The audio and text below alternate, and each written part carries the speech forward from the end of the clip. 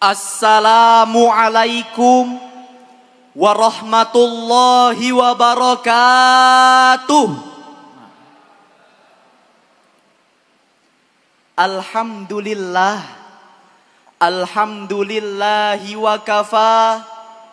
Assalatu wassalamu ala sayyidinal mustafa wa ala alihi wa sahbihi ahli sidqi wal wafa. Amma ba'du. Dewan Hakim yang kami muliakan, hadirin wal hadirat yang cantik dan tampan.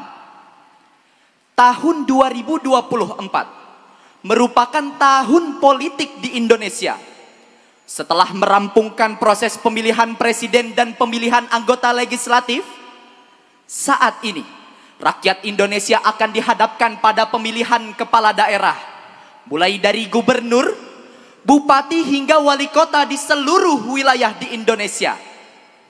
Berbagai manuver politik mulai dilakukan oleh para calon kepala daerah bersama partai pengusungnya, berlomba memperebutkan suara demi meraih kuasa di berbagai daerah sekali lagi akan menguji kecerdasan rakyat dalam memilih pemimpinnya.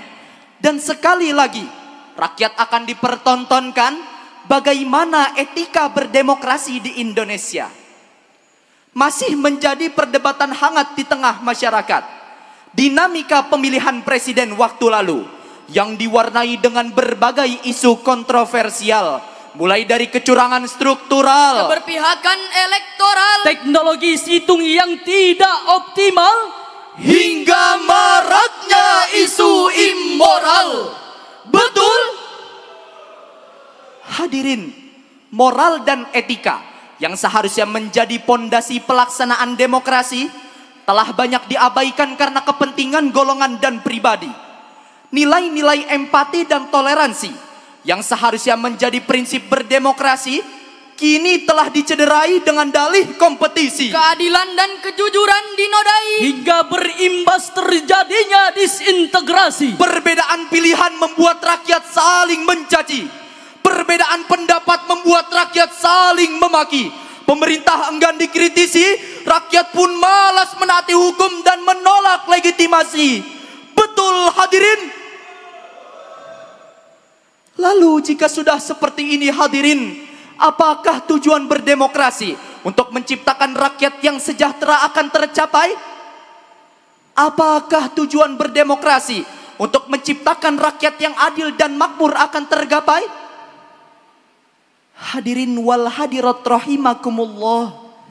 Indonesia merupakan negara demokrasi terbesar keempat di dunia telah melaksanakan pemilu sejak tahun 1955. Seharusnya prinsip demokrasi berasaskan Pancasila telah melekat dalam setiap pribadi masyarakatnya. Dan sebagai negara dengan populasi muslim terbesar di dunia, cukuplah Al-Quran dan Sunnah menjadi pedoman pelaksanaan demokrasi yang beretika. Lalu hadirin, bagaimanakah etika berdemokrasi menurut Al-Quran? Sebagai jawabannya, maka dalam momentum kali ini kami akan membawakan syarahan Al-Quran yang berjudul Etika Berdemokrasi dalam Perspektif Al-Quran dengan landasan firman Allah Subhanahu wa taala Al-Quran Surah Ali Imran ayat 159 Berikut lantunannya. A'udzu billahi rajim.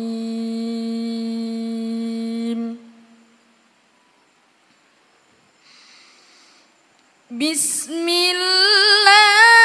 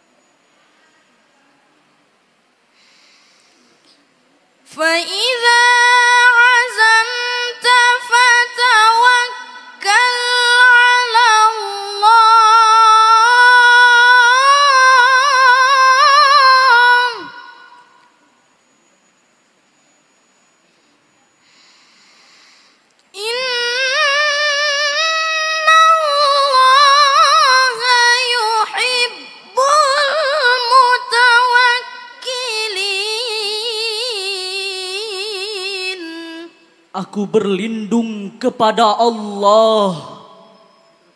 Dari godaan setan yang terkutuk. Dengan menyebut nama Allah yang maha pengasih lagi maha penyayang.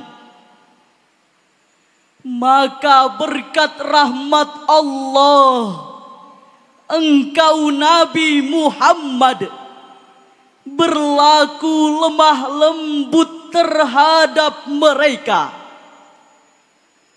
Seandainya engkau bersikap keras dan berhati kasar, tentulah mereka akan menjauh dari sekitarmu.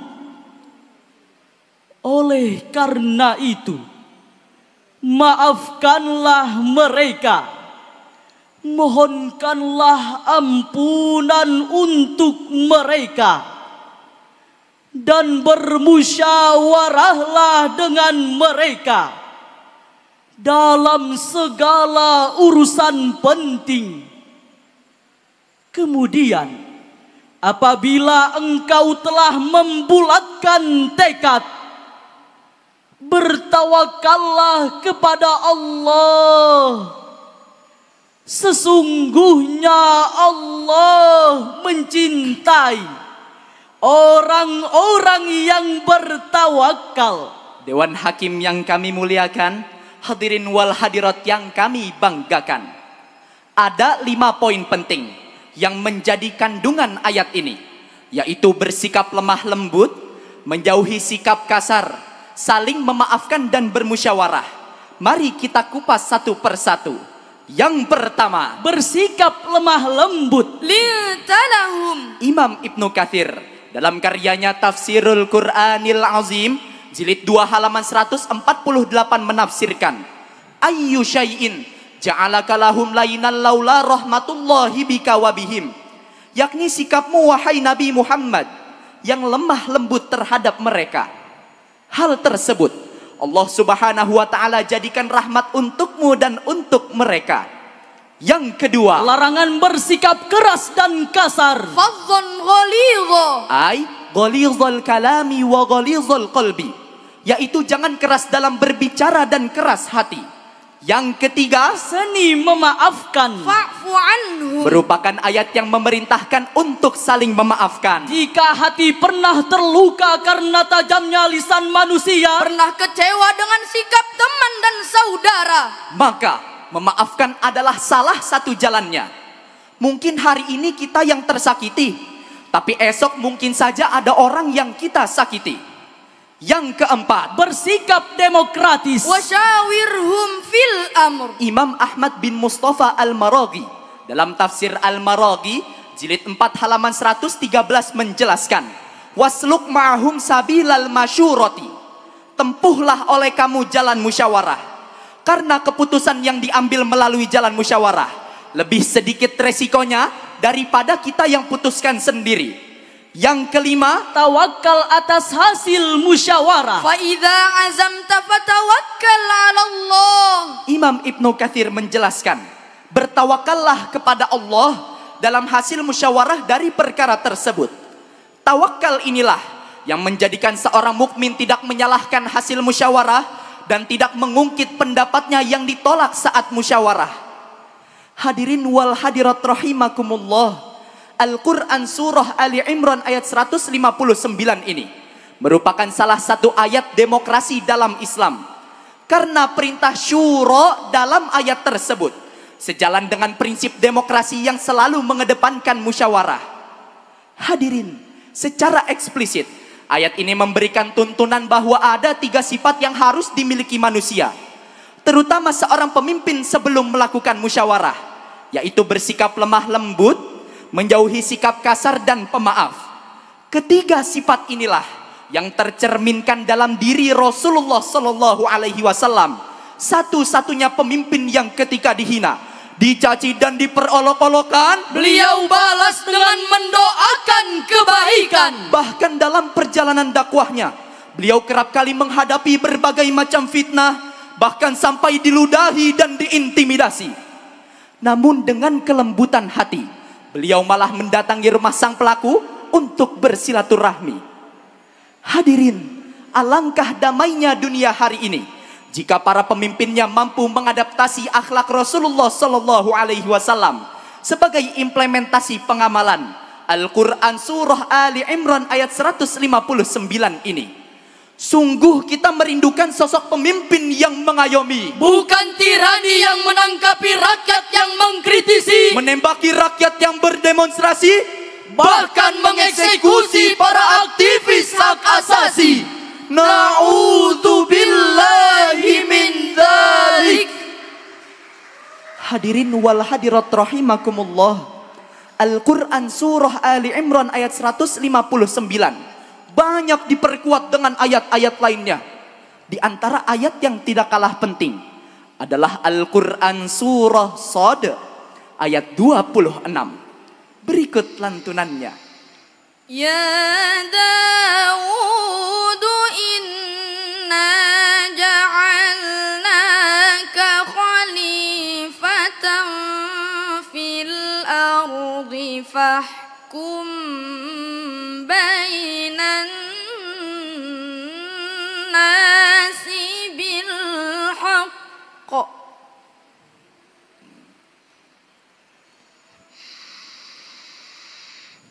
فاحكم بين الناس بالحق ولا تتبع الهوى فيضلك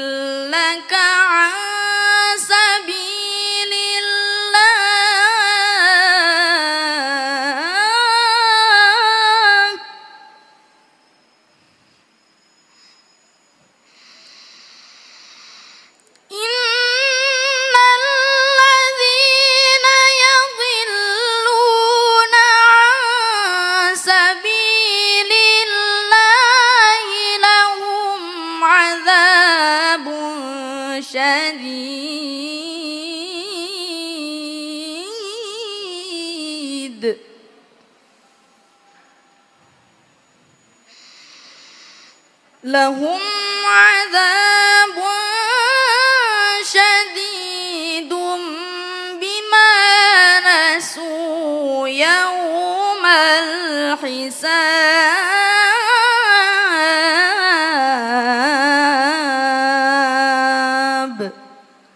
صدق الله العظيم. وهي داود Sesungguhnya kami telah menjadikanmu khalifah, penguasa di bumi.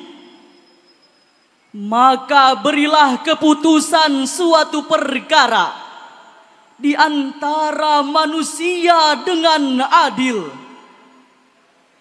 Dan janganlah mengikuti hawa nafsu karena akan menyesatkan engkau dari jalan Allah.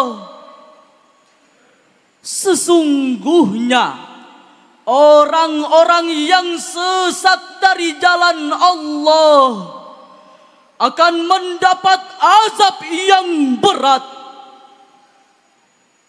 karena mereka melupakan hari perhitungan. Maha benar Allah nan maha agung atas segala firman-Nya. Dewan Hakim yang sangat baik hati, hadirin wal hadirat yang senyumnya berseri-seri. Pesan yang tersirat dalam Al-Quran surah Sod ayat 26 adalah bahwa Allah subhanahu wa ta'ala memerintahkan kepada para pemimpin untuk memberi keputusan dengan hak. Fahkum bainan nasi bil haq. Imam Abu Ja'far bin Jarir At-Tabari dalam tafsir At-Tabari Jami'ul Bayan beliau menafsirkan bil haqq ay bil adli wal insafi Berilah keputusan dengan adil dan tidak berat sebelah. wala tattabi'il hawa ay la tu'thir hawaka fi qada'ika bainahum Janganlah mengutamakan keinginanmu di dalam penilaianmu di antara mereka. Hadirin, ayat ini memberikan pesan kepada para pemimpin untuk bersikap adil, tidak sewenang-wenang dan tidak berat sebelah. Janganlah sebuah keputusan diambil berdasarkan keinginan. Janganlah hukum ditetapkan berdasarkan jabatan dan janganlah rekrutmen jabatan berdasarkan faktor kedekatan dan kekeluargaan. Oleh karena itu, kedepankan objektivitas, perkuat integritas, dan tingkatkan netralitas. Setuju hadirin? Dengan begitu, syarahan ini dapat kita ambil kesimpulan bahwa etika berdemokrasi telah diatur dalam Al-Quran. Di antara etika tersebut adalah yang pertama, melakukan musyawarah dengan mengedepankan kelembutan dan menghindari kekerasan. Yang kedua, Pentingnya bagi seorang pemimpin memiliki sikap memaafkan dan memberikan pengampunan. yang ketiga, Menjunjung tinggi prinsip keadilan, memberantas kesewenang-wenangan dan keberpihakan. Jika tiga poin ini telah kita lakukan, mudah-mudahan etika demokrasi di Indonesia akan membawa kemakmuran, meningkatkan persatuan dan kesatuan. Amin, amin, ya Rabbal Alamin. Buruh tani mahasiswa dan juga santri bersatu padu rebut demokrasi gegap gempita dalam satu suara demi tugas suci yang mulia. Hari-hari esok adalah milik kita Terciptanya masyarakat sejahtera Terbentuknya tatanan masyarakat Indonesia baru tanpa orba Marilah kawan, mari kita nyanyikan sebuah lagu-lagu apa? Lagu kemenangan. Marilah kawan, mari kita nyanyikan sebuah lagu-lagu apa? Ikan lohan dibungkus kasa. Dimasak mama enak terasa. Mari terapkan demokrasi yang beretika demi mewujudkan persatuan dan kesatuan bangsa. Demikian dan sekian. Wabillahi taufiq wal hidayah wal ridha wal inayah. Assalamualaikum warahmatullahi wabarakatuh.